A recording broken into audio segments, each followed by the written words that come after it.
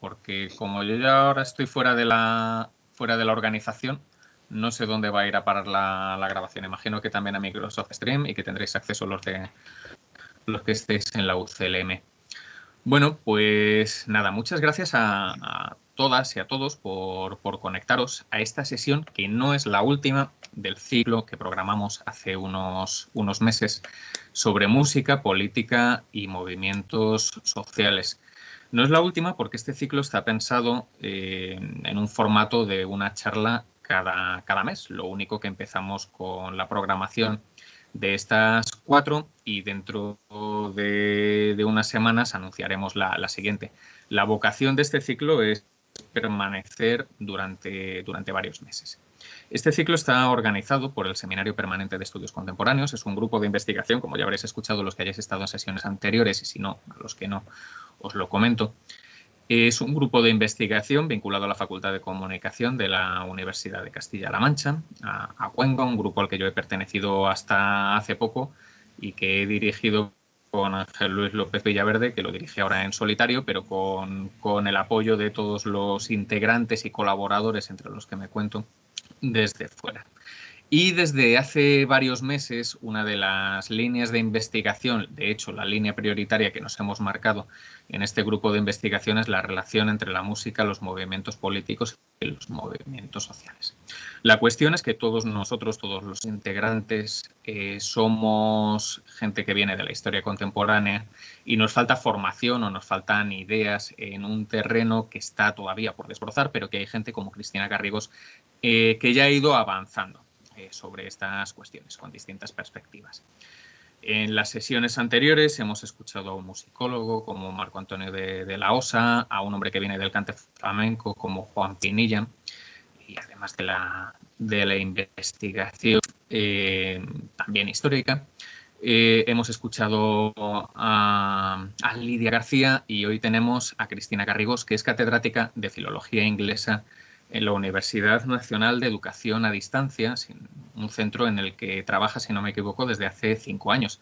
Anteriormente ha estado en otros sitios, ha estado en la Universidad Autónoma de Madrid, ha estado en la Universidad de, León y ha estado en más sitios todavía, porque una parte de su formación predoctoral la hizo en Estados Unidos, en la Universidad de North Carolina, si no me equivoco, donde hiciste un, un máster que te dio acceso a tus estudios de doctorado y estudió eh, filología en la Universidad de, Sevilla. Vamos, que, conoce ámbitos académicos por toda la geografía española y también a nivel internacional y de hecho tiene una, su investigación tiene una dimensión internacional, muy, una proyección internacional muy interesante. Em, dentro de su amplísima em, producción académica, eh, gira en torno a, las, a, la literatura, los estudios de literatura contemporánea, posmodernidad, género, cine y música, entre otras, entre otras cuestiones. Quiero destacar las dos que creo que tienen más directa relación con el ciclo que tenemos en marcha, el ciclo de conferencias que tenemos en marcha. El primero es la, la coordinación de un dossier monográfico en una, en una revista se llama Lectora, se publicó en 2017, lo coordinaste si no me equivoco junto a Nuria Triana, eh, que se llama Pan Connections, una perspectiva transcultural. Eh, y en segundo lugar, este, este libro más reciente, que ha salido en una editorial amiga, 66 revoluciones por minuto, digo una editorial amiga porque algunos de sus editores eh, son amigos de este grupo de investigación, han colaborado con nosotros en otros ámbitos. me refiero a, Alfred Crespo y a, a May González. Eh, este libro, que apareció en 2019, es todavía muy reciente, se llama God Save the Queens, Pioneras del Punk, y lo has, lo has publicado junto a Nuria Triana y a Paula Cervera, eh, si no me equivoco. Estos son los datos que, he ido recogiendo y de hecho, bueno, el libro sí que lo conozco y el dossier también lo, lo conozco. Eh, estamos muy agradecidos de que hayas aceptado nuestra invitación para hablar, para enseñarnos, para abrirnos perspectivas y para ofrecernos distintos ángulos desde los que profundizar en este, en este tema de, investigación que me parece interesantísimo y además absolutamente necesario. Sin más, te, doy la palabra yo desaparezco, apago la cámara, pero me quedo, me quedo en segundo plano. Y dentro de un rato, pues, pues conversamos y cambiamos impresiones. Así que nada, muchísimas gracias, Cristina. Muchísimas gracias a, ti, Eduardo, por la presentación y, muchísimas gracias por la, invitación a participar en este seminario. Eh, la verdad que estoy, vamos, eh, muy agradecida y, muy, eh, bueno, pues ilusionada porque la verdad también quiero darle las gracias a Rubén eh, Pérez Trujillano, que, también me invitó para, hablar de, música eh, y, sociedad y política, que creo que son bueno, tres cosas fundamentales eh, para, mí. Entonces, bueno, pues la verdad es que creo que hacéis un trabajo magnífico en, este seminario y estoy encantada de, participar. Y, nada, pues para, hablar de, mujeres y, y, punk, que como has dicho en la presentación, bueno, pues es un tema que al que he dedicado en los últimos años pues, pues algo bastante investigación. Eh, como ha dicho el, monográfico, que mm, el dossier que sacamos en la revista Lectora fue como el inicio un poco de, mm, una investigación académica y bueno, pues eh, el, libro de, de entrevista del que voy a hablar en, mi charla, en el que me apoyaré porque eh, en parte quiero bueno, pues que sean estas mujeres también las que digan sus opiniones sobre, sobre estos temas. Entonces, bueno, pues para, empezar, eh, yo bueno quiero quiero decir algo muy obvio que a diferencia de otro de otro género no eh, musicales el, el, punk no es exclusivamente musical, como todo el mundo creo que, sabe, sino que abarca eh, muchas mucha disciplinas, incluida la visuales, artes visuales, la literatura, en fin, eh, bueno, por supuesto los fanzines. Hoy me voy a centrar yo en la, en la música, pero quiero eh, dejar claro que yo no soy, eh, no soy musicóloga, no soy socióloga, en mi formación eh, yo soy filóloga inglesa, pero viene a través de los estudios culturales y los estudios de género, entonces esta va a ser la perspectiva desde la que yo voy a, hablar, ¿no?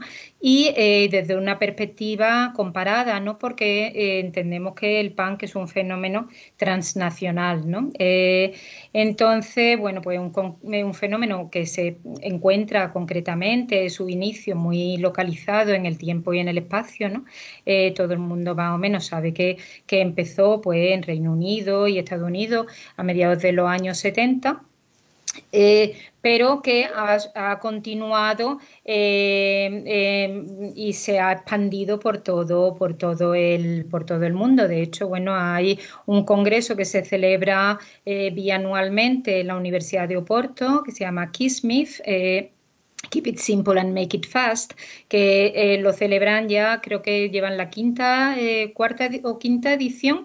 Eh, lo organiza Paula Guerra, que es una de las coautoras del libro de God Save the Queens, y viene gente de todo el mundo a hablar de punk, o sea que es una cosa que está por, todo, por todo el mundo.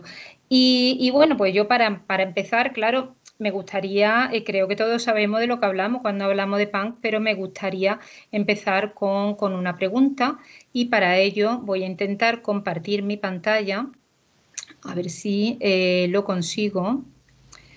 Eh, mm, mm, mm, vamos a ver. Vale. de acuerdo. ¿Se ve bien?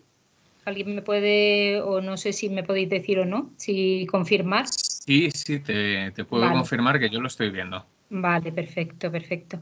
Vale. Vale, pues vamos a empezar con esta pregunta, ¿vale? Que se entiende por punk y entonces, bueno, pues me voy a ir a algo tan clásico como Shakespeare. Bueno, en realidad me voy a ir un poquito antes, me voy a ir al siglo XI, eh, digo XI, XVI, eh, en el que la palabra punk eh, aparece, la primera vez que aparece la palabra punk, la primera constancia que se tiene es para referirse a una prostituta en una balada de 1575, una balada titulada Simón el Viejo Rey, en el que se advierte a los hombres que beber es un pecado como lo es tener relaciones o tener una prostituta, ¿no? Eh, Shakespeare usa el término punk varias veces en varias obras suyas, en Measure for Measure, medida por medida. Eh, habla un personaje, que Lucio, que dice, she may be a punk, eh, quizás sea ella una punk, dice porque no son ni doncella, ni viuda, ni están casadas. También para referirse, como digo, a una prostituta o también eh, lo utiliza él en Las Alegres Comadres de Windsor y All is Well Done It's Well, eh, en la que también aparece la, palabra todo, todo va bien que termina bien, creo que la han traducido en español, eh, en la que aparece también la palabra punk. Eh, la palabra punk en el siglo XVII se refería, en lugar de una mujer prostituta, eh, a un hombre eh, que, era un joven mantenido por un señor mayor, como aparece en una canción erótica, en la que titulada Women's Complaint to Venus, de 1698 en Estados Unidos hay conexión, eh, la palabra punk tiene conexión con las lenguas nativoamericanas, el Napel punk era ceniza o tenía algo que ver con el fuego. Y, eh, en 1648 eh, ya aparece un testimonio de que el punk se, refería a pólvora y en la guerra de, la independencia americana también se decía lucha como un punk o se decía que las cosas estaban rotten as punk, ¿no? que estaban podridas como el punk. Eh, luego en el siglo XIX eh, vino a significar punk, era sinónimo de cosas de poca calidad o amateur. Eh, por ejemplo, se refería a muchos punk shows en, San Francisco a finales de, siglo, en 1889. En Kansas se decía que había una punk orchestra, una orquesta punk, una banda punk también que desfiló y también hubo un concierto punk en 1901. Esto, eh, como digo, un poco de etimología ¿no? del punk. Eh, lo que sí que es verdad es que, eh, por ejemplo, el punk en la actualidad también se utiliza como insulto derogatorio para referirse a criminales o cobardes o a jóvenes sin experiencia en general. Por ejemplo, hay un famoso vídeo con eh, Robert De Niro cuando se iba a presentar Punk, eh, Punk Trump a, las elecciones, pues le llamó Punk. Eh, y entonces, bueno, dijo que era un mentiroso, que era un farsante, que era un punk. este lo tenéis en YouTube por si lo queréis ver, mm, bastante cómico. Pero en lo que se refiere a la música, la, palabra punk, bueno, pues en el diccionario cultural del punk, Nicholas Roms escribió que es un término inestable ambiguo y cargado de significados. En Nueva York se usaba para referirse a los grupos que tocaban en los años 70 en el Max's Kansas City o en el CBGB y Lenny Kay la utilizó para titular su fanzine punk y de ahí pues saltó a Europa y tenéis una portada con Patti Smith eh, mm, de la que hablaré a continuación. Eh, Alice Bach que es una cantante y activista chicana o mexicanoamericana, habla de cómo le llegó a ella el punk y eh, habla del punk como una escena inclusiva en el que había, eh, cuando empezó en Los Ángeles, eh, en los años 70, una gran presencia latina. Voy a leer, lo, lo, vais a leer vosotros también, una declaración que hace ella en la entrevista que se recoge en God Save the Queens, Dice ella, yo oí hablar del punk primero en Nueva York. A principios de 1976 me hice con la revista Punk y leí sobre todas las bandas locales. Un poco después me enteré de que también había punk en Europa.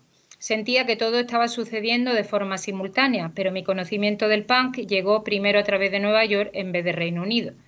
Pasaron unos pocos meses literalmente hasta que Los Ángeles tuvo su propia escena punk con un sabor único. La escena punk de Los Ángeles incluía gente de comunidades muy distintas, así que creo que la música que salió de esa escena era bastante ecléctica. No es que intentáramos a propósito que fuera más latina, pero queríamos que fuera inclusiva y como en el sur de California hay una población latina enorme, no es ninguna sorpresa que la escena musical fuera un reflejo de eso. Entonces, bueno, aquí ella está hablando precisamente como México americana ¿eh? Eh, de la presencia eh, de, gente que tenía una cuestión, le daba importancia a la raza. Um, está Lisbach, continúa ella y dice, el punk era un cambio revolucionario en cuanto a lo que debía ser el rock, para quién era y quién podía hacerlo. De repente había mujeres, queers y gente de color que montaban bandas, se subían al escenario y tocaban sin saber ni un solo acorde. Era una revolución. Eh, al hablar de revolución, aquí lo que está indicando Alice Bag es que hay algo más que música en el, punk. ¿eh? Eh, y ella lo explica. aquí la tenéis actualmente, bueno, hace poco, una foto de hace poco, ella sigue tocando, sigue siendo muy activa, es muy en la música, pero también activista. Y eh, Alice Back dice, creo que una escena es algo más que sitios para tocar, una escena se configura cuando un grupo de individuos se juntan para crear algo nuevo y apoyan mutuamente los esfuerzos de cada uno. Eso es lo que sucedió en los comienzos del punk en Los Ángeles y creo que se creó una revolución cultural de alguna forma. Para mí el punk fue una profunda revolución personal que cambió el modo en el que interactuaba con el mundo y hoy en día aún sigue afectando la manera en la que pienso y creo arte. Bueno, se habla del punk como una revolución cultural en el sentido de que, a diferencia de otras escenas, el punk aúna distintas disciplinas, eh, pues como he dicho antes, música, cine, artes visuales, moda, literatura, y sobre todo parte desde una perspectiva personal en la que confluye una comunidad eh, a la que une su deseo de cambiar el mundo. Entonces eh, vemos que el punk tiene una vertiente social y política y parte de una actitud individual, el famoso do it yourself, en la que no es necesario tener una gran formación o técnica para expresarse artísticamente. Y a eso se refiere también eh, Ana da Silva, que es una artista de, Madeira, que se fue a vivir a Londres en el 74 y allí, bueno, pues se, quedó y allí vive y allí fundó el grupo eh, The Raincoats. Con Palmolive, eh, que la, tenéis aquí, de la que también, eh, Paloma Romero, de la que también hablaré. Para Ana da Silva, el punk, y también lo define así, era un grupo de personas que se expresaba de una manera más simple porque la música se había vuelto demasiado compleja. Muchas de las cosas ya no tenían alma, era solo ver quién tocaba mejor y el punk era diferente, tenía más que ver con el alma, con la energía, con explorar ideas, con hablar sobre la sociedad. Tenía el lado estético también, que era muy directo. Era una música que tenía mucha fuerza y que hablaba de cosas con las que la gente se identificaba, en lugar de cosas extrañas que no tenían nada que ver con la vida real. El punk era algo con lo que la gente sentía una cierta conexión, tanto en las letras como en la forma en que se cantaba. Se decía, solo tienes que saber tres acordes y ya puedes cantar y tocar una canción. Para mí eso era estupendo porque yo mm, no sabía más que tres acordes. Nunca toqué la guitarra de una manera compleja, pero eso no era lo principal. Lo realmente importante era el conjunto. Bueno, eh, para ella el punk es un momento histórico y también es una actitud vital, un modo de estar, ¿no? Ella dice es un modo, eh, se vuelve un modo de vida, un modo de estar en este mundo. Dice, no es que yo me considere hoy en día punk, ya en la época no me lo consideraba tampoco, vivíamos un cierto momento que empezó siendo punk, pero acabó por ser, se le llamó New Wave, se convirtió en una cosa menos básica tal vez, menos gutural y creo que lo que hoy se llama post-punk era más artístico, tal vez más que el principio del punk. Esto, eh, bueno, pues eh, la, idea de la actitud de hoy en día, es ser punk, no una actitud eh, a pesar de que ella tiene sus reticencias con, la palabra, pero ciertamente yo creo que en la actitud de, Ana Silva, sin, sin duda, hay un, creer en, un movimiento artístico que también es social y político. Eh, ella eh, lo define de una manera positiva. Dice, el PAN desde mi punto de vista es un movimiento que quiere que el mundo sea mejor, quiere tener una influencia positiva. El mundo no es perfecto, ni mucho menos, pero hay que luchar por eso y creo que el punk es de los que intentan hacerlo. A veces la intervención es más directa, otra más sutil, más poética, pero siempre tienen necesidad de expresarse. Yo preferí el punk en lugar del pop porque este último es un producto.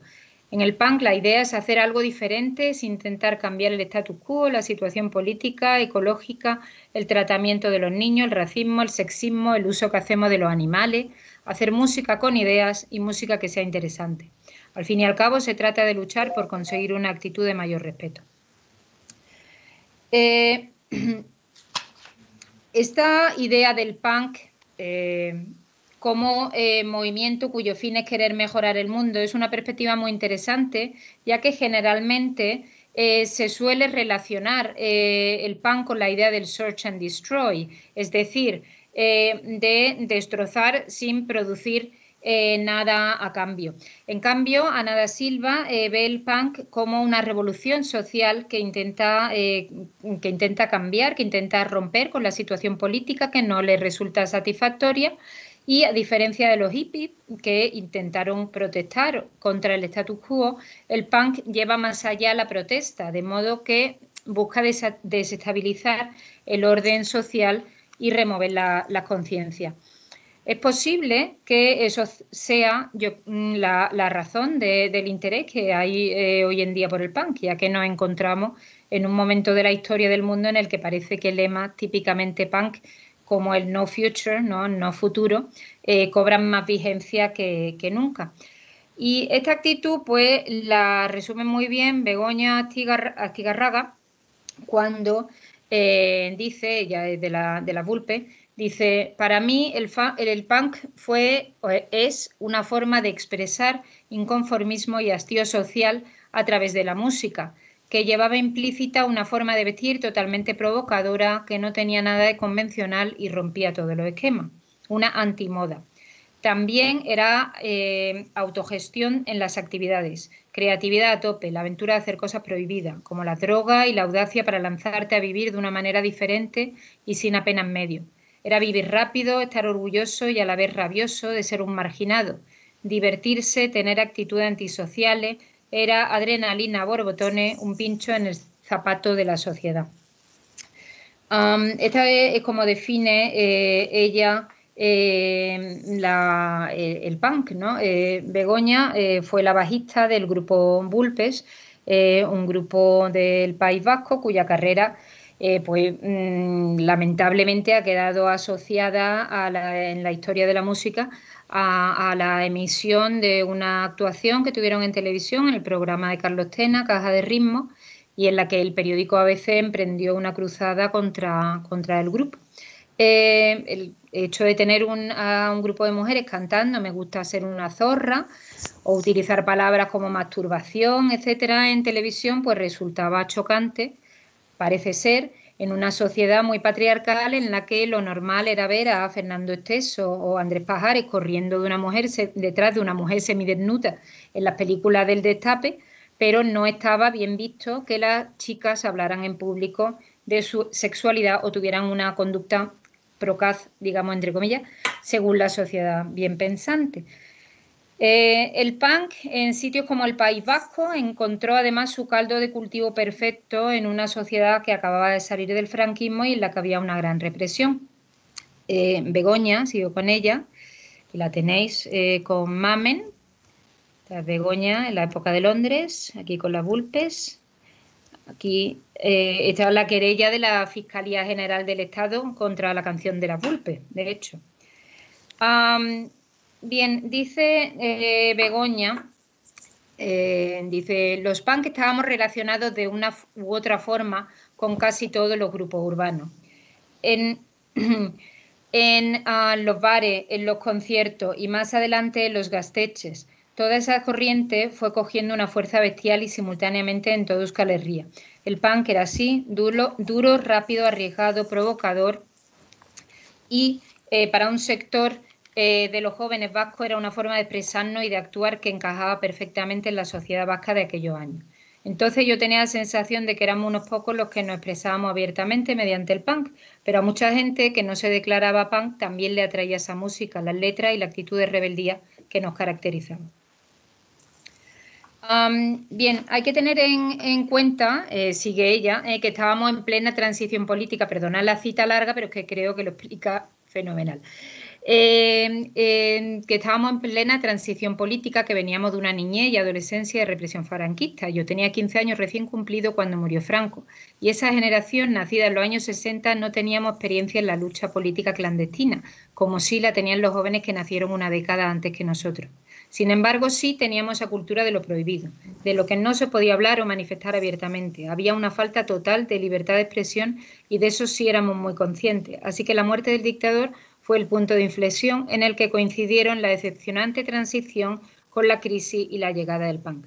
La gente podía desahogarse a grito de la crisis y el desempleo, del estado policial en el que vivíamos causa de la lucha armada de ETA, contra la educación recibida en las escuelas nacionales franquistas y los colegios de cura y monja, o la amenaza nuclear, el capitalismo, la guerra fría, etc. Era un caldo de cultivo perfecto para que el punk fuera abriéndose pasos, paso a patadas.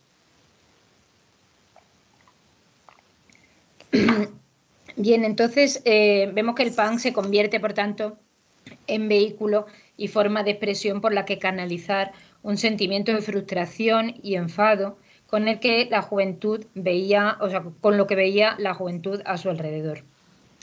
En este sentido, el papel de las mujeres eh, fue fundamental, ya que a pesar de lo que se ha querido creer, participaron muchas mujeres en el movimiento, como demuestran bueno, las entrevistadas a, las que, a las que entrevistamos para, el libro, que dicen que a diferencia de otras subculturas, en el punk las mujeres y los hombres tenían papeles igualitarios.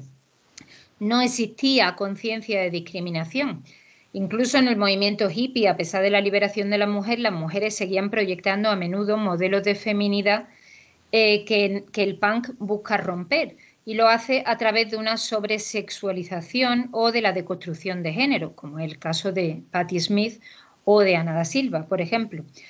Por eso, eh, parte importante del punk es la estética, que se concibe como modo de tener una identidad propia que busca provocar o simplemente ser diferente. Y sobre eso también eh, opina eh, Begoña. dice, de la misma forma que en los 60 la gente fue dejándose el pelo largo y los pantalones de campana por influencia externa, así fuimos adoptando nosotras la estética punk que desde luego no te llegaba por la tele ni por las revistas, sino a través de los discos, los fanzines y las postales que enviaban de Londres los amigos. Alucinábamos con esas crestas teñidas de colores y esas chupas de cuero repletas de pinchos, chapas imperdibles, cuchillas de afeitar y pintadas. Los pantalones escoceses con correa y hebilla, las Doc Martin, las camisetas de grupo, las mallas con telaraña, las calaveras, las ratas, las cuchillas, las cadenas. Era una estética rompedora, provocadora que tenía que ver con el sexo, con lo violento, lo repelente, provocaba rechazo y eso la hacía tan atrayente y acorde a lo que sentíamos. Reventar la buena apariencia, ser un espejo feo de la sociedad y generar rechazo era divertido, pero también comprometido. Bien, eh, eh, habla eh, esta idea de generar rechazo, refuerza la idea de protesta y revolución, que sobre todo en los principios del movimiento era la base de su estética. Sin embargo, como dice Begoña, no se trataba de simbologías políticas, sino de actitud. Nuestra manera de provocar era de otro tipo, nos colgábamos de la ropa con imperdible todo tipo de cosas como cucaracha, arañas de goma, cuchilla, cadena, crucifijo invertido. Pasábamos olímpicamente de quedar bien con nadie o de parecer ir en serio con eso de la música. Entonces, en e, este juego de provocación no es solo eh, física, sino se trata también de cuestionar los cimientos de un sistema patriarcal bien instalado. Y las mujeres punk juegan un papel fundamental que apenas ha sido reconocido hasta ahora. Eh, sobre eso también eh, dice Begoña, creo que en la historia del punk rock no se ha visto lo suficientemente reflejado el protagonismo de las mujeres. Seguramente esto se debe a que cuando se habla de punk se habla principalmente de grupos de música donde los hombres han tenido, al igual que en otras áreas de la sociedad, el dominio de los escenarios y de la industria musical. Y también porque la historia ha estado contada y sobre, todo por los hombres, ya sea a través de la prensa, la radio, los libros, etc. Los grupos femeninos de rock, heavy o punk son como las mujeres en el fútbol. Aunque jueguen en primera división, siempre se les valora mucho menos. Se apuesta menos por ellas en las discográficas a pesar de que las mujeres fueron ganando más protagonismo en los escenarios que, las mujeres de décadas precedentes, lo cierto es que los grupos de punk seguían estando formados mayoritariamente por chicos. En los 80 había pocas chicas instrumentistas, por ejemplo. Era muy difícil encontrar mujeres que tocaran la batería, pero eso no nos impedía aprender por nuestra cuenta y el hecho de hacerlo mal no era un impedimento en el punk. Creo que con el punk rock las mujeres perdimos ese respeto a salir solas a escena y reclamamos nuestro espacio. Algunas pioneras nos sirvieron como modelo y Patti Smith fue un gran ejemplo. Um, Efectivamente, eh, todas prácticamente eh, nombran, todas las pioneras del punk nombran a, a, Patti Smith como modelo.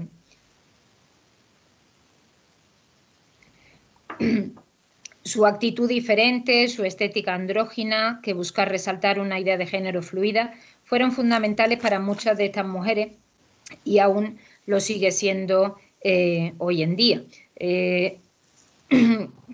ella, bueno, pues ha dejado una, huella o deja una, huella que duda cabe que todavía eh, hoy en día en artistas como PJ Harvey y bueno, y tantas, tantas otras, ¿no? todavía no me voy a las, a las slits. el modelo andrógino de Smith era muy diferente al de otras mujeres que eligieron la vía de la provocación a través de una hipersexualidad femenina. En el punk, eh, Vivienne, Westwood animaba a las mujeres a que proyectaran sus fantasías eróticas en el escenario. O otras, como las slits, por ejemplo, eh, preferían hacerlo a su manera, en plan salvaje, como salieron aquí en esta fotografía en la portada de, un disco suyo. O cantantes como Polystyrene eh, enfatizaban la parodia y la ambigüedad, su canción más conocida, O Bondage Up Yours, era una parodia equiparando el sexo con el consumismo, por el que criticaba la dependencia de consumir que tenemos en nuestra sociedad. Al presentarse como al mismo tiempo como víctima y agente de este proceso de consumismo desenfrenado, hacía una crítica a la vez que parodiaba la sociedad del consumo.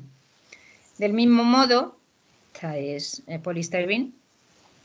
del mismo modo, Siouxsie Sioux, que empezó con el grupo The Bromley Contingent, acompañando a los Sex Pistols, eh, eh, pues hacía, por ejemplo, eh, hacía una crítica o hacía una, mm, bueno, una parodia, digamos, al llevar una parafernalia nazi o lencería con referencias eróticas.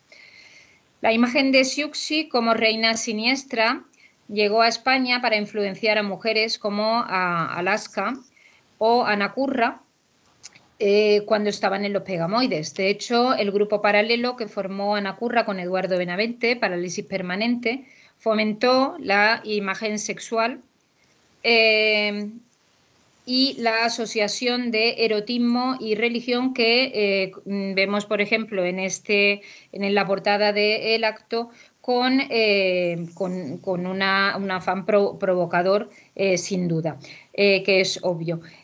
también la portada del single mostraba una santa crucificada, Santa Eulalia, y el punk toma a los mártires cristianos como ejemplo de radicales, eh, sacrificados por su diferencia. ¿no? Como dice Brian Flota, los mártires cristianos eran rebeldes, eh, mm, eh, eran diferentes, digamos. ¿no?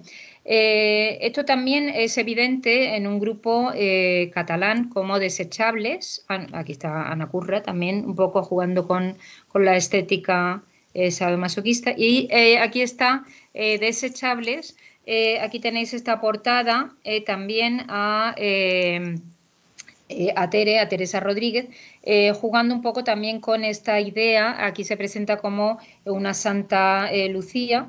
y bueno, pues Tere era famosa, como la definió eh, un crítico por sus gritos, aullidos, bramidos guturales, susurros, gemidos, movimientos pasmódicos, gestos lascivos y una belleza cautivadora que contrastaba con su actitud extrema, sadomasoquismo y cuero. Bien, eh, en general, eh, las mujeres que entrevistamos en el, libro coincidían en que, a pesar de ser pocas en el escenario, eh, siempre tenían que escuchar cada vez que actuaban insultos y eh, barbaridades. Em, volviendo un poco al ámbito anglosajón, eh, Blondie escribió una canción titulada Rip Her to Shreds, ah, que se podría traducir como Hazla girones. Y, y, se utilizó, bueno, la letra de la canción alude a la facilidad que tienen algunas personas o medios de comunicación para despedazar a la gente criticando eh, al aspecto físico, la ropa, los ademanes, etcétera, y juzgando a las personas por las apariencias, eh, sobre todo cuando se trata de mujeres. Eh, en la canción se hace referencia a las groupies.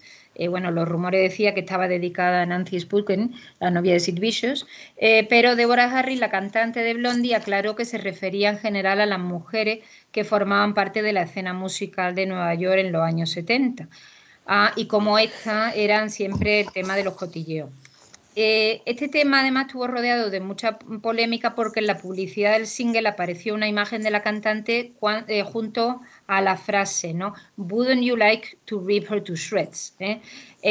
¿No te gustaría a ti, bueno, pues como quitarle la ropa, por así decirlo, ¿no? hacer girones su ropa, se entiende, ¿no?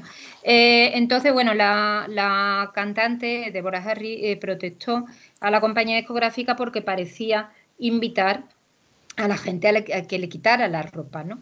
Eh, y ella eh, dijo, la diferencia en la actitud de los medios de comunicación, dependiendo de si es una chica o un chico el que está en el escenario, me pone furiosa. Si es un grupo de hombres el que está en el escenario y un público de mujeres les grita, entonces todo es como debe ser. Pero si es una chica la que está en el escenario, entonces todo es vulgar.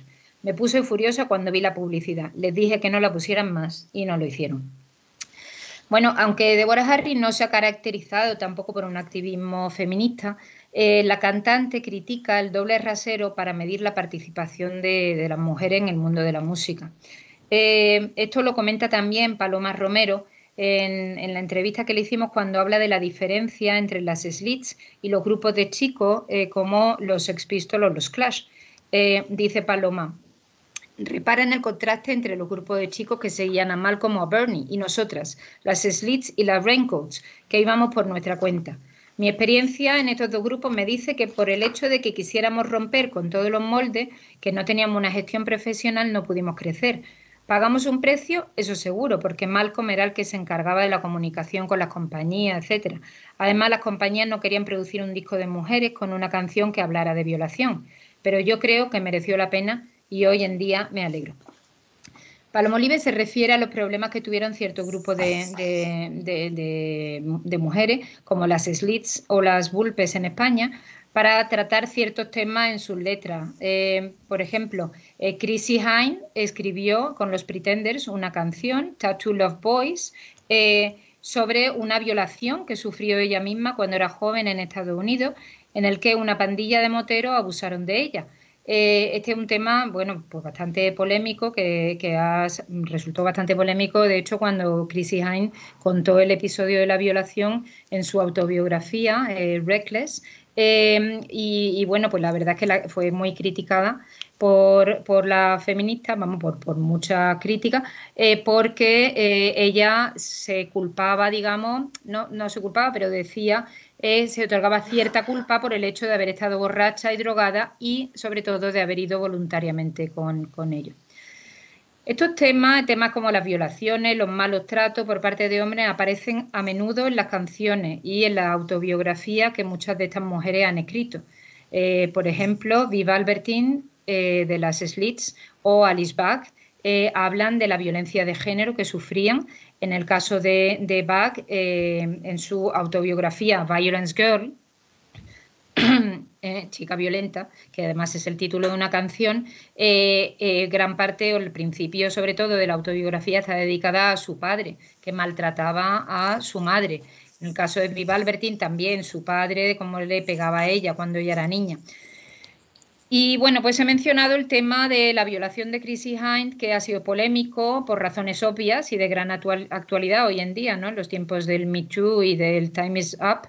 la mayoría de estas mujeres eh, en su época no se consideraban o no se reconocían como feministas. Eh, y de hecho, sobre esto eh, habla Paloma, Palmolive. Dice, no me gusta la etiqueta, en las slits queríamos ser nosotras mismas y por supuesto estábamos en contra de la desigualdad en el trato hacia las mujeres. Naturalmente yo no iba a vivir mi vida según lo que se esperaba de mí. Así que supongo que en ese sentido sí soy feminista, pero por otra parte no me gustaba que me usaran los grupos feministas para hacer algo que no quería ser. Quería definir mi propio modo de ser feminista. En aquella época, de acuerdo con lo que los medios de comunicación nos transmitían, una feminista era alguien que odiaba a los hombres. Y yo no me sentía así. Estábamos en contra del rol que la sociedad nos había asignado a las mujeres, eso seguro, así que supongo que éramos feministas. del mismo modo, también ante la pregunta de si eh, ella cree que el punk ayudó a redefinir el feminismo, eh, Begoña Astigarraga eh, responde, No creo que lo hiciera en el momento en el que estaba teniendo lugar, porque a finales de los 70 y primero 80 el movimiento feminista y el punk iban por caminos muy alejados. Sin embargo, el punk fue la contestación a muchas vergüenzas de la sociedad y la discriminación sexista era una de ellas. En el movimiento punk, las mujeres encontramos el espacio para gritar con la misma rabia que los hombres, para hablar con nuestra propia voz, para salir a escena sin tener que demostrar más que los chicos, pero con mucho más coraje. Era cuestión de echarle rabia, hacerlo y punto. No hacía falta hacerlo bien. Si yo miro atrás, yo si miro atrás me veo entonces no me llamaría feminista, sino una mujer joven que no se dejaba dominar ni por los hombres ni por la autoridad viniera de donde viniera. En esa época no teníamos ni idea de lo que era empoderamiento, ni sororidad, ni nada de la teoría feminista, pero algo de eso existía entre las mujeres en el punk. No tengo ni idea de lo que el feminismo militante pensaba entonces de nosotras, pero creo que con el tiempo las feministas han considerado que nuestro mensaje encaja en su ideario. bueno, esto fue posible, o sea, la relación que se estableció eh, entre el punk y el feminismo eh, fue posible más tarde, sin duda, gracias al papel de las Riot Girls en la costa oeste de Estados Unidos, que eh, reivindicó el legado de las mujeres punk dándole un mensaje claramente feminista. A través de, las canciones, de los fanzines y hasta de un manifiesto, las Riot Girls buscaban eh, darle voz a las mujeres jóvenes que sentían que podían y debían utilizar el arte para expresar sus preocupaciones políticas. Como explica Kathleen Hanna en un documental hecho sobre ella, The Punk Singer, eh, la cantante punk, fue en un taller con la escritora Cathy Acker cuando ésta le preguntó por qué quería escribir, a lo que Hannah contestó, porque nadie me escucha. Y entonces Acker le dijo, pues si quieres que te escuchen, no hagas spokens, que era lo que estaba haciendo ella, monta un grupo de música. Eh, bueno, Cathy Acker, que es una de las escritoras punk eh, más, más importantes y que, bueno, pues ahora eh, ha vuelto, digamos, a, ser leída. Como dijo también Kim Gordon, bajista y fundadora de Sonic Youth, el objetivo final de las Riot Girls era bombardear el centro neurálgico de la falocracia del rock. Su influencia en las chicas de los años 90 eh, y en la primera década del siglo eh, del siglo XXI, perdón, fue tal que el alcalde de Boston, eh, Martin Walsh, decidió aquí tenéis, bueno, está con letras muy pequeñas, pero tienen un manifiesto que os animo a que, a que leáis si tenéis interés y que está, y que está en internet. Eh, el, alcalde de Boston proclamó el día de, la, eh, de las Riot Girls, el día 9 de abril de 2015, eh, y le dio una medalla a Kathleen Hanna por contribuir a despertar una conciencia feminista entre las jóvenes.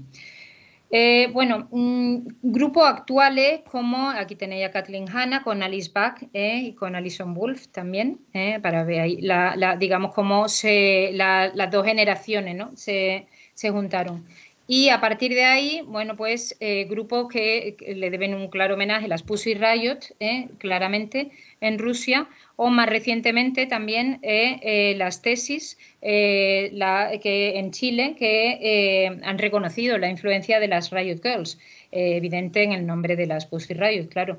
y que consideran la idea de música y de performance como modos de empoderamiento. No hay más que ver la repercusión mundial de un violador en, tu camino, de, la tesis, ¿no? Entonces, del mismo modo, están eh, surgiendo ahora por todo el mundo eh, grupos de mujeres jóvenes que reivindican la música y el arte en general como vehículo de expresión y de acción política. Por ejemplo, existen eh, varios eh, libros que han eh, explorado la relación entre punk y rebelión desde una perspectiva de género y desde una perspectiva académica, porque realmente ahora yo creo que está ya mm, desde hace varios años ya entrando el punk con fuerza en, la academia. uno de, los libros, de uno de los primeros, digamos, en articular el tema del punk desde una perspectiva eh, del punk y el género como resistencia desde una perspectiva anglosajona eh, es el libro Pretty in Punk, eh, Girls, Gender Resistance in a Boys Subculture de Lorraine LeBlanc, publicado en la Universidad de Rutgers en 1999, que, que yo sepa ha visto ya ocho reediciones, la última de 2013. En este libro, eh, Leblanc comienza hablando de su expulsión del instituto por su aspecto y comenta que para ella adoptar una estética punk significaba su manera de comunicarle a los demás lo que pensaba sobre la guerra nuclear, la religión, la lengua, la política, el racismo, clasismo y cualquier otro tema.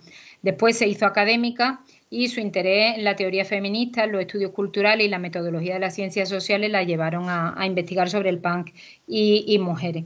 Otro, otro, ejemplo, además del libro de Leblanc, eh, y ya muy reciente, ya digo que hay muchísimos, pero bueno, es el libro que sacó Vivian Goldman en la Universidad de Texas, Revenge of the She Punks, A Feminist Music History from Polystyrene to Pussy Riot, eh, que ha editado en España la editorial Contra con el título La venganza de las punks.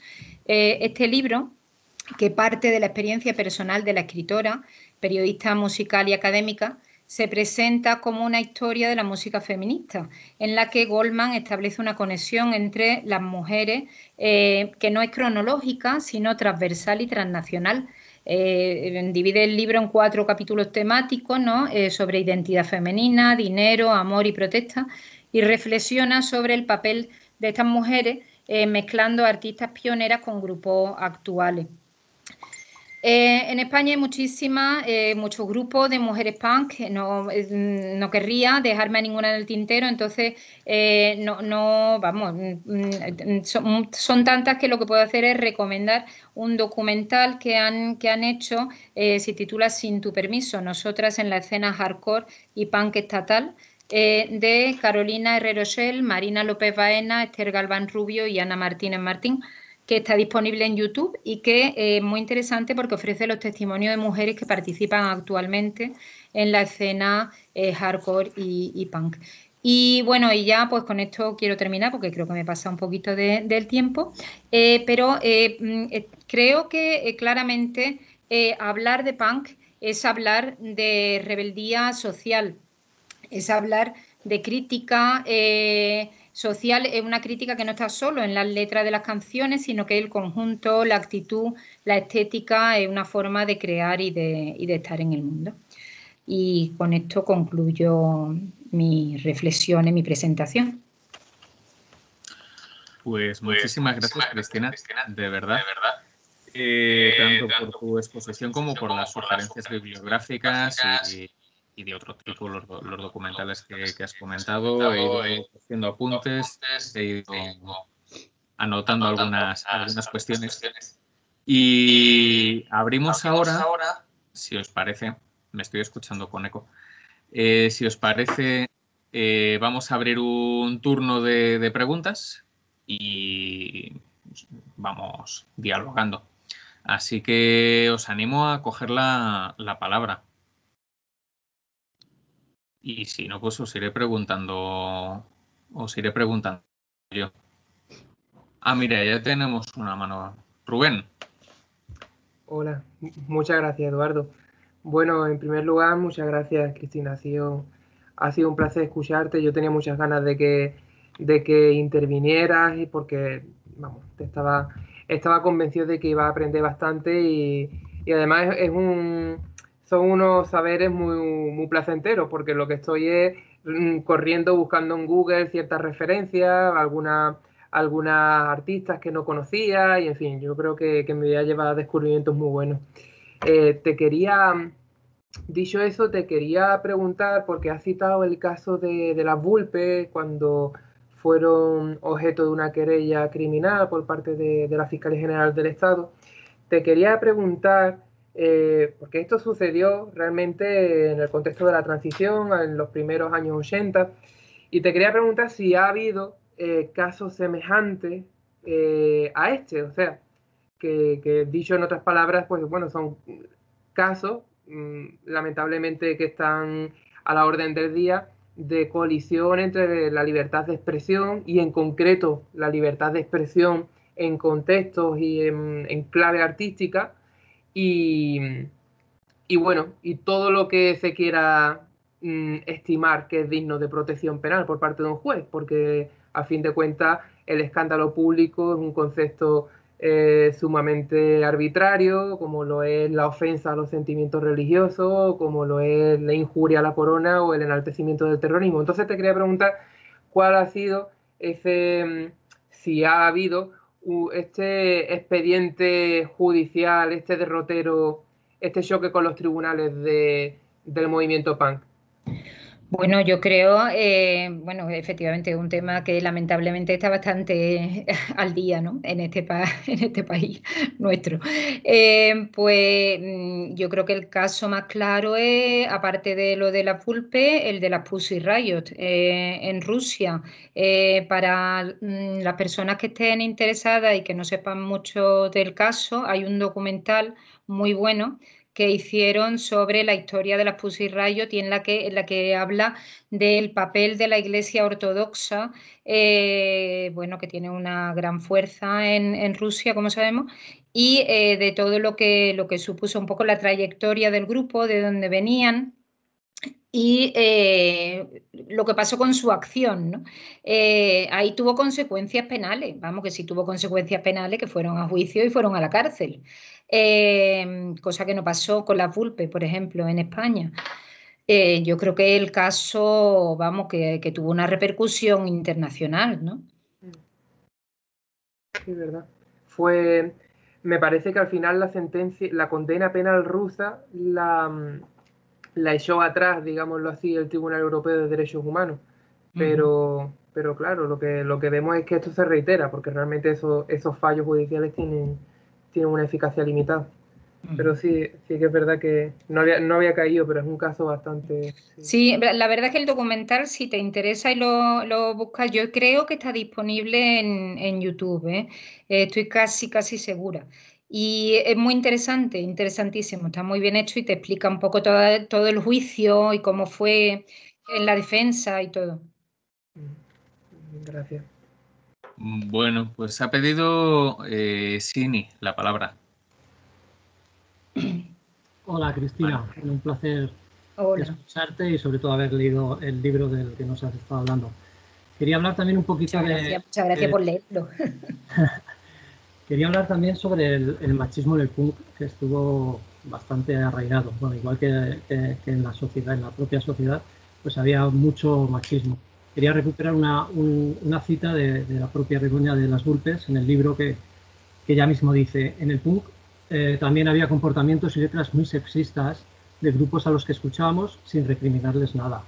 Había letras punk que hablaban de matar a, los, a las novias por celos, de machacar a los maricones, de posesión de la mujer por el hecho de serlo, e incluso de violación. Y eso desde la perspectiva de género, que hemos aprendido con los años, me suena horrible me gusta mucho que haya, eh, ella misma reconozca que tanto, bueno, todos y todas hemos tenido que aprender en los últimos años mucho sobre feminismo, eso es verdad.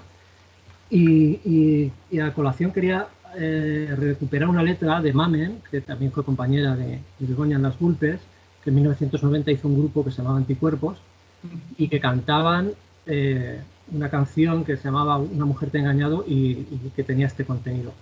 Una mujer te ha engañado y en el fango te ha hundido, te has sentido humillado le vas a dar su merecido. Sales a la calle a buscarla, saboreando, anticipando la venganza de ese engaño y vas decidido a escarmentarla. Maldita mujer, me has hundido, pero yo te daré tu merecido. Mujer maldita, me has hundido, pero no me importa, es tu castigo. Esto era una letra de, 1990, de, ya te digo, era un grupo que incluso participaba Mamen de las Vulpes. Entonces yo creo que sí que es verdad que, había un, machismo muy enquistado dentro del PUM, que, todos y todas han ido aprendiendo y, la propia Begoña decía pues eso, que, se escuchaba sin recriminarles nada, ya no solo la actitud, pues a las letras, sino también la actitud. Y por eso te quería preguntar que si crees que esas letras debemos analizarlas dentro de un contexto muy determinado como era aquella época y en, la escena en la que se, en la que se daba, evitar o, y evitar ese presentismo, o realmente hay que criticar con dureza aquellos contenidos. Hombre, yo creo que, eh, que en todas, o sea, no solo en el punk, yo creo que todas las letras de todos los géneros musicales, muchas veces eh, en el contexto en el que se escribieron, eh, no chocaban tanto como chocan hoy en día, en el que de repente la escuchas con otra perspectiva, ¿no? Vamos, estoy hablando ya de country o de, yo qué sé, de reggaetón o de cosas que son claramente tremendas, ¿no? Mm, para las mujeres. Eh, pero es verdad que, ha habido una, una autocrítica, digamos, por parte de, muchas mujeres, de decir, mm, yo cómo podía estar cantando esto, ¿no? cómo podía estar escuchando esto, porque no tenía conciencia, ¿no? De, no, no, reflexionaba sobre lo que suponía. Yo creo que es importante que haya eh, conciencia. Creo que en ese sentido las generaciones ahora, eh, bueno, quiero pensar, eh, sí lo ven desde otra perspectiva, no por lo menos las que están ahora metidas en cuestiones de punk desde una perspectiva más, activista, ¿no? Aunque, claro, es que el punk, el problema es que no es todo igual. El punk también tiene mucho machismo, tiene, tiene racismo, eh, tiene también, hay mm, otro punk que es muy testosterónico, por así decirlo, ¿no? Muy, eh, que, que, es muy diferente, vamos, es muy diferente el punk que podían hacer, por ejemplo, o que hace Alice Bach, en el que habla eh, tiene canciones ahora que ha sacado en el que habla de ser una mujer mayor o de ser inclusiva con los queers, en fin, con eh, todo esto. Eh, es muy diferente a otro tipo de punk mm, más machista. O sea, eso, eso que duda, que duda cabe.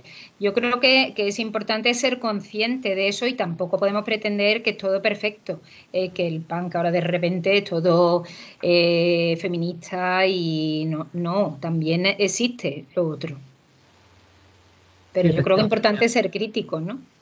Sobre todo me gusta que destaques eso, que, no todo el punk eh, o todas las escenas punk eran exactamente iguales. Luego hubo a, mí personalmente, por ejemplo, me interesa mucho más que ese punk más autodestructivo y más antisistema, esa generación que surgió más cercana al hardcore, con una militancia política mucho más evidente, donde había temas como el antimilitarismo, como el propio feminismo, como el ecologismo, que lo llevaron a...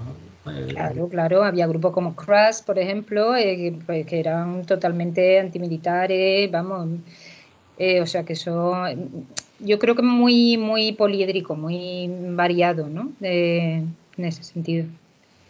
Eso es. Bueno, por eso quería destacar eso, que creo que, las, que aquellas pioneras lo tuvieron especialmente difícil porque realmente también es que estaban en un ambiente bastante misógino. Por ejemplo, eh, Palmolive cuando habla de que, que, cuando, actuó, cuando ensayaba con el propio Servicios, poco menos que la, la hecho del grupo porque no se dejaba acostar con él, no acostar sí, con él. Sí, eso lo, eso lo cuenta, lo cuenta Palmolive también en su, en su entrevista, ¿no? que tenía un grupo con Sid Vicious y que, bueno, pues eso, que, que efectivamente la ha hecho por no querer acostarse con él, ¿no? Eh, me gustaría pensar que eso eh, ha cambiado mucho, pero también te digo que después de ver el documental de mm, Sin tu permiso, que se escucha a chicas jóvenes que están en grupos punk y tal, y hay algunas que todavía se quejan mucho de, eh, de que hay actitudes machistas hoy en día, de que eso existe, o sea, que sigue existiendo por desgracia. y, y yo creo que sí, que ellas lo tuvieron muy difícil también te digo que, en la escena eh, había hombres y había mujeres, o sea que eso era que se, vamos, a mí me decía Begoña, que cuando nos poníamos a correr por la calle corríamos todos, o sea, eso era... Eh, pero, pero sí que, es verdad que, había, había actitudes machistas porque la sociedad era machista y, eso estaba muy, muy metido. Bien, gracias, Cristina. Gracias, gracias.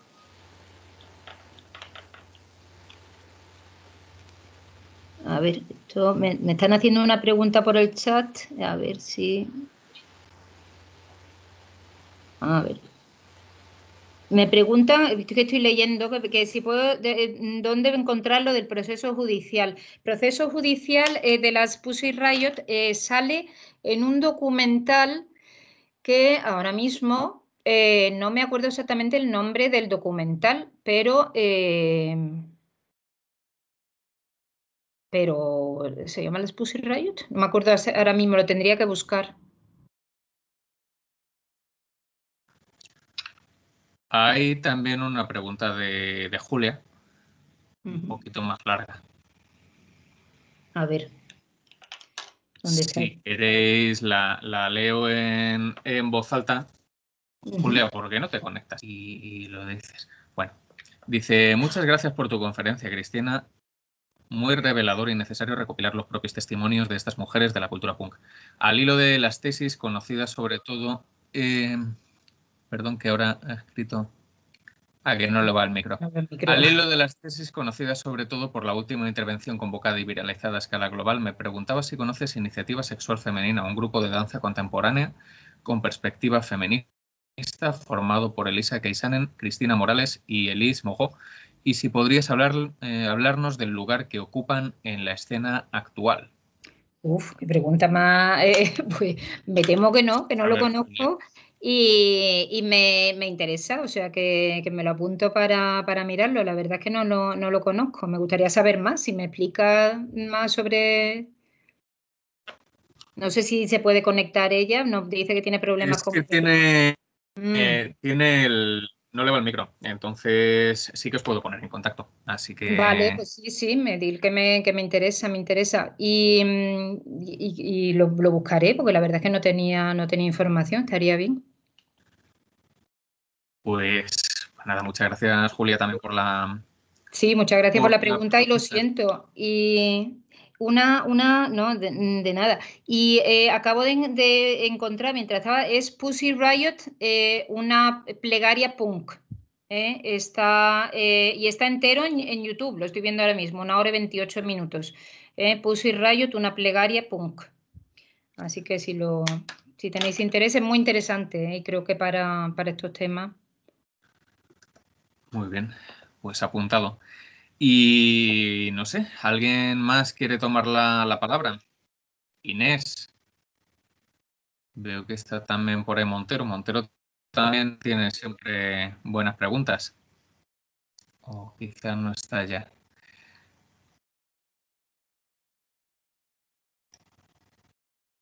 Bueno, alguna... Hola.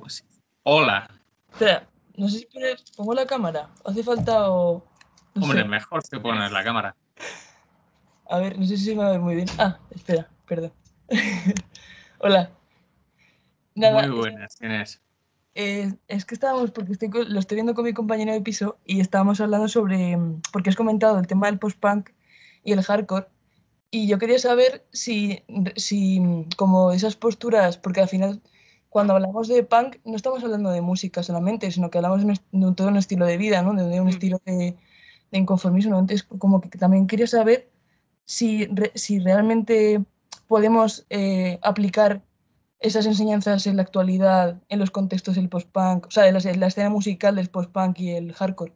Porque tengo la impresión de que, o sea, sí que está ahí ese pozo, ¿no? Histórico, pero al mismo tiempo como que, mm, mm, sobre todo yo creo que en el hardcore quizá, bueno, no sé, hablo también sin saber, pero que, o sea, como que sí que sigue existiendo un, una misoginia y un machismo ahí como de sí, somos muy alternativos y tal, pero luego en realidad, pues como que tampoco, ¿no? No sé, no sé qué Sí, sí, sí, pues yo creo que no, es que ya te digo que precisamente, y si te interesa el tema, el documental este también está en YouTube.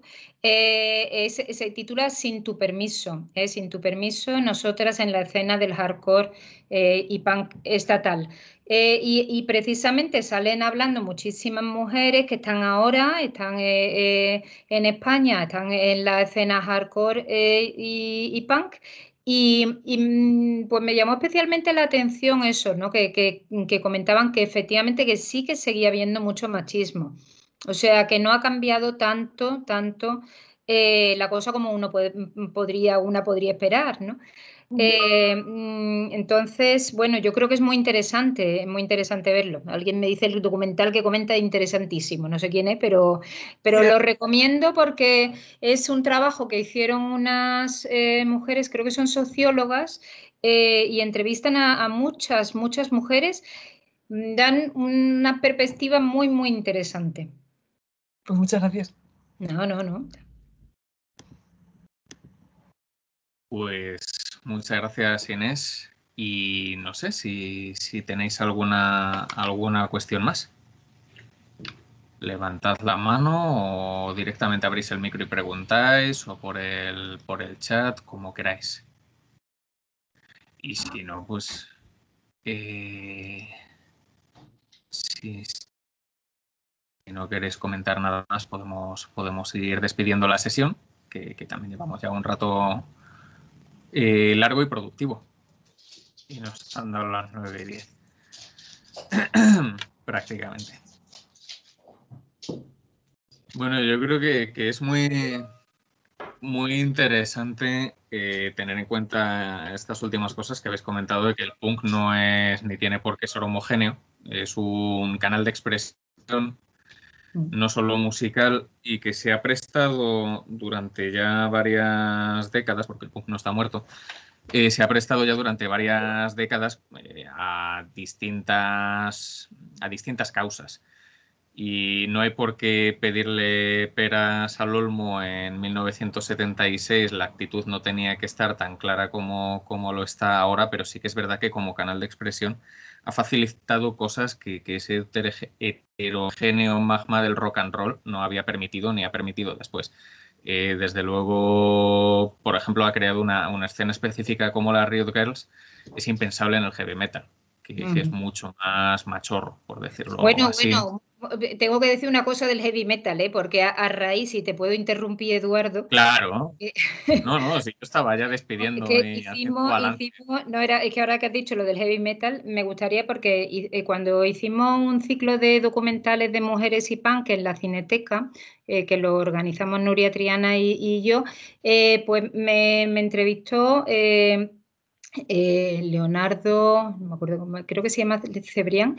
Eh, bueno, el, caso que le gustó mucho el, proyecto eh, y, ha hecho él un proyecto muy interesante sobre mujeres en heavy metal.